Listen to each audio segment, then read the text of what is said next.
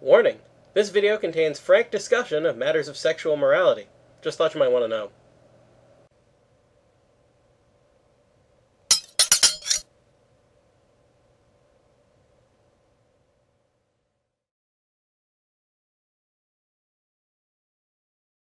Hey, welcome back to Clean Cut, where we can talk about the truth about just about anything, as long as we use logic and common sense.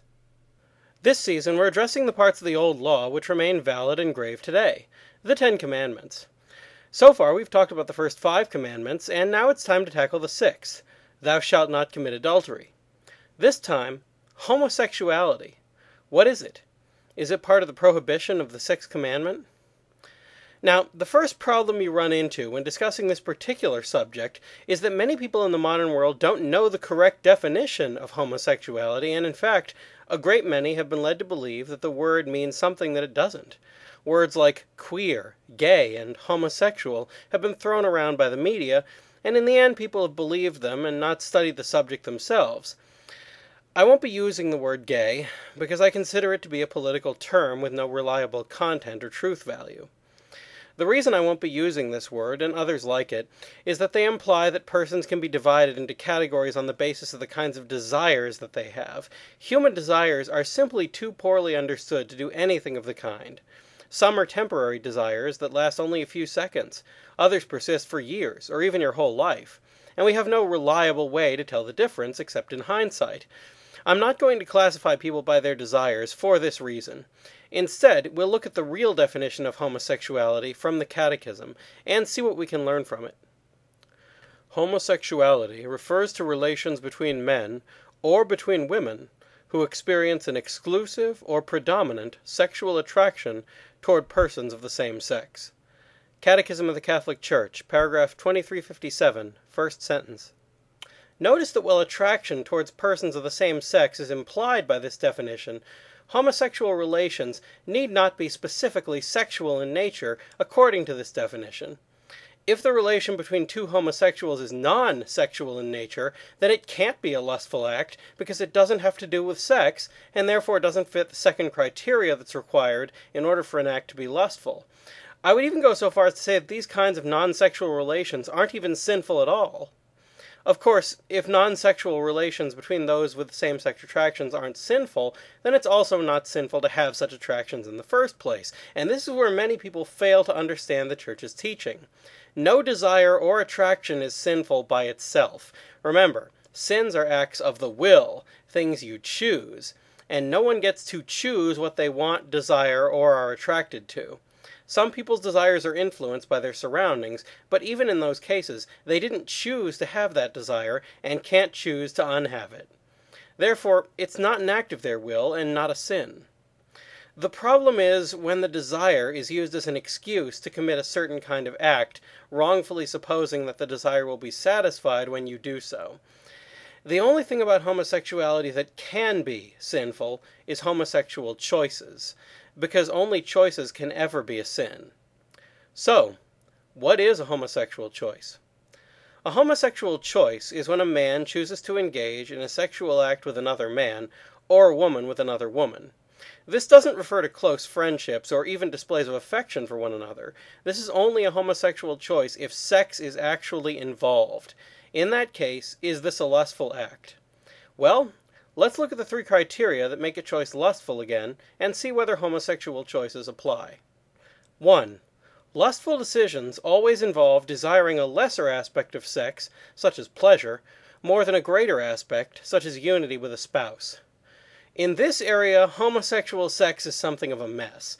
The fact is that the male sexual organ is not designed to interface properly with another male sexual organ, and the same is true of the female organs.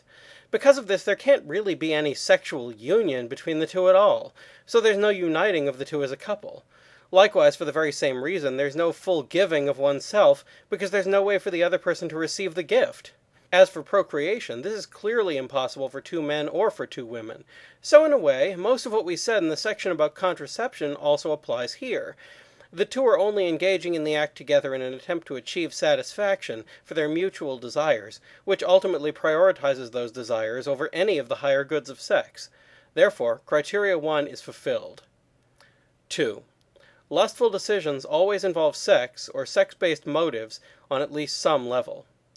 Homosexual sex is sex based, therefore, criteria 2 is fulfilled. 3. A lustful decision can be any action, word, or thought as long as it conforms to these criteria. Homosexual sex is an action, therefore fulfilling criteria 3. So it follows that, having fulfilled these three criteria, homosexual sex is always lustful and always against the sixth commandment. Also, please note that because one of the primary goods of sex is to unite husband to wife, all that can be said about homosexual sex can also be said about alleged homosexual marriage. Just as it's impossible for two people of the same gender to engage in the full and complete act of sex, so it's impossible for them to marry. Any claims to the contrary by news agencies, lawyers, judges, or even bills of law are mere semantic tricks, concealing the real definitions of words to obscure the truth even further. Authentic marriage is consummated by an authentic sexual act, which is impossible for a same sex couple. That's the end of the logical argument, but other arguments have been brought forth which don't really challenge any of these facts, but instead argue against the conclusion by restating essentially a series of media slogans. Still, some people have a hard time seeing through these slogans, so I'll do my best to address the most common ones. 1. Love is love. This is one of those reasons why I don't use the word love very often. It's hard to tell exactly what this slogan is trying to say.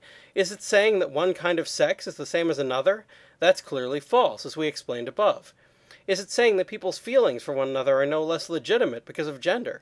I don't necessarily deny that, but that doesn't mean it's moral for them to have sex.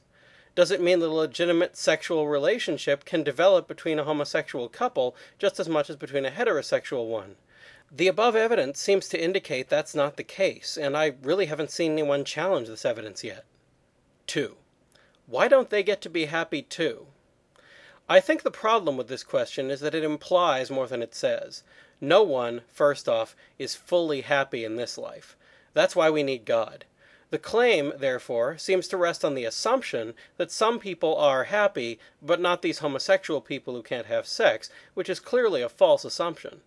Worse yet, however, what the statement really means is, why am I not allowed to do whatever I want in the hopes of becoming happy? I put it this way because we can't really know that what we're about to do will make us happy. Ever. More importantly, however, if you boil down the question even further, it becomes, why don't I get to do whatever I want?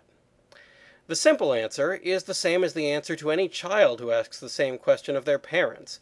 It's because it's wrong slash bad for you. If you struggle for holiness and eventually make it to heaven, then you'll no longer have to worry about things being bad for you, and I feel more options will open, though not necessarily this one.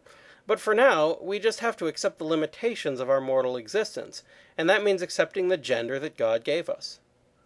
3. Homosexuals have a right to be treated the same as the rest of us. The rest of us also need to fight our own temptations towards sexual impurity, and therefore so does the homosexual. I just don't see that there's any difference here. Really, the only way for homosexual sex to be accepted as normal is if you already accept three big lies about sex, and probably more besides. Lie 1 Sex is mainly just the extension of emotional romance.